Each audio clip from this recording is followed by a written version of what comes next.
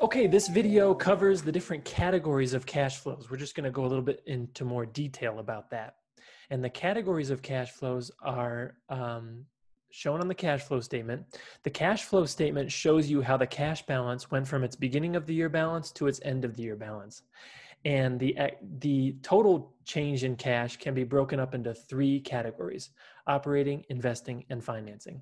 So let's go through a made up example of activities, and I'll show you how I classify the activities into the categories on the cash flow statement.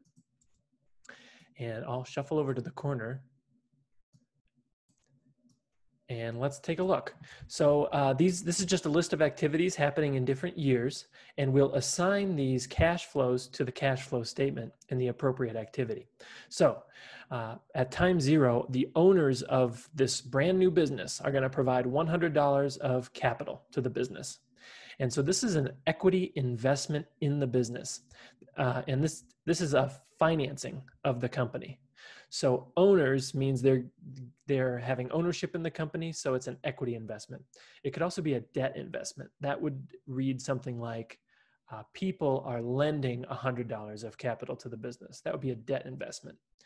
But whether it's an equity or a debt investment, it's a financing cash flow. It's financing the business. Uh, so uh, uh, capital raising from in investors or distributing capital back out to investors, those are both uh, examples of financing activities. So this $100 of capital for the business is a $100 cash inflow from financing activities. Next, in year one, the company is going to take some of that $100 and invest it in property and equipment. And when you invest in a long-lived asset or divest from long-lived assets, that is a cash flow from investing activities. So this $80 is a cash outflow. We're paying $80 for property and equipment, and it's $80 cash outflow from investing activities.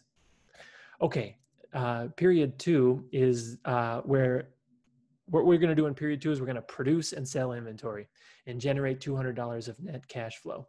So producing and selling inventory is operating. That's what the business is in business to do.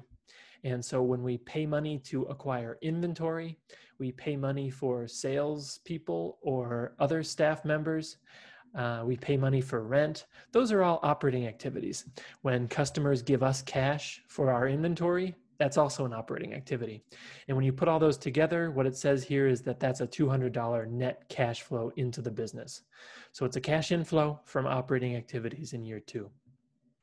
In year three, we're done with our operating activities. We finish production and we sell the remaining property and equipment that we have for $220. So that's the, you could say that's the salvage value of the property and equipment. We are giving our property equipment to somebody else and they're giving us $20. So it's a cash inflow of $20 and it's an investing activity. So plus 20 there. And finally, uh, in year four, we just distribute whatever we have left back to the owners. So we're wrapping up the business. The, that was kind of a nice little four-year business, and it's over now. And the whatever capital is left is distributed to those owners. So that's a cash outflow, since cash is now leaving the business out to its owners, and it's a cash outflow of 240. So that's kind of uh, the life cycle of a business from inception to investing in assets to operating to divesting from assets to wrapping up the business and giving the capital back. And that's it. That's just my example of allocating different activities to the correct section on the cash flow statement. Next, what I want to do, because this is kind of an interesting opportunity, this is going to be a tangent. So this has nothing to do with the cash flow statement. And the tangent we're going to go on is we're going to value this business opportunity. So this business op, here's just this section of the uh, financing cash flow. Uh, this is what the investor would be most interested in. The investor in the company. Hey, when do I have to give money to the company, and when do I get money out of the company? And this tells the investor when that happens. So we don't. In year zero, we don't know that this is the case. We would have to estimate that this is going to be the case. But what the question is is this a good business opportunity or not? And so let me show you how uh, you might go about calculating that. And you'll use a formula that we'll use later in the semester. It's called the present value formula. So the it's easy to know what this $100 investment is worth. I know if I pay $100 today, that's a that's $100 less than I have that I have today.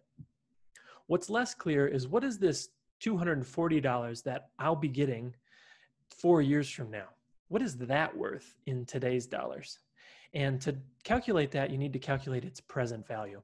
So 240 is the future value, and we're going to divide it by 1 plus an interest rate raised to the power of n, where n is the number of periods. So let me calculate the value of this business opportunity for you now. The present value of the business opportunity. The first term here is our $100 initial payment, and this one's pretty easy. The future value of this one is $100, the future being today and we're going to divide it by 1 plus an interest rate. Now, I've selected an interest rate here of 10%. 0.1 is the same as 10%. That is a kind of a question mark, and it depends on the riskiness of the business that you're investing in. If it's a very risky business, you'll want to apply a high interest rate. And if it's a very low risk business, you can apply a low interest rate. So I actually made up this number of 10%, which shows up as 0.1 in the formula here. So 1 plus the interest rate in the denominator raised to the power of 0 because it's happening today. And you may know that when you raise something to the power of 0, you get 1, no matter what that quantity is. So 1.01, 1.1 raised to the power of 0 is equal to 1. So minus 100 divided by 1 is uh, minus 100 in today's dollars. So in today's dollars is another way of saying present value. Okay, next let's consider the more difficult one, the $240 uh, payment that we're expecting to get uh, four years from now.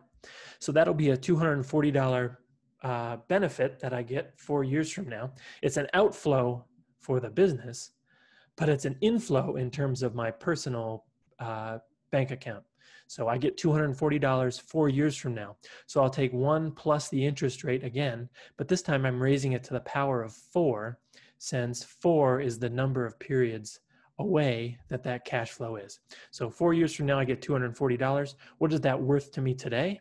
And the answer is that's worth $163.92, assuming that 10% is the correct discount rate or interest rate here. So if I wanted to know what is the value of this business enterprise, I just sum those two present values and I get $63.92. Now, another word for this $63.92 is the net present value. The net present value of this business opportunity is $63.92. Since it is greater than zero, I'm comfortable saying this is a profitable opportunity for me as long as the interest rate of 10% is accurate, this venture will be profitable for me. If that number was less than zero, I should not engage in this business opportunity because it has a net uh, negative value to me today. So that was just a quick um, example of how someone might value this business opportunity. And we're going to revisit this present value formula when we talk about bonds so long-term liabilities in a future lecture. But this is this has just been a little tangent using the cash flow statement to value a company. Okay, so I hope you enjoyed this video and I'll see you next time. Bye-bye.